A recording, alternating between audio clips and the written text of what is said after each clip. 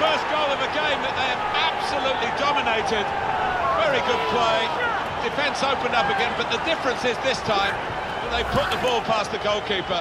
Good finish, and they're looking a very classy side at the moment. And the way he's hit this... The... And Greaves.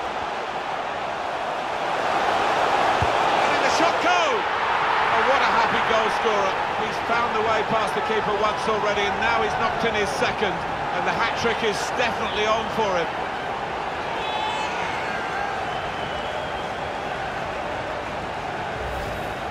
Well, that's a poacher's goal.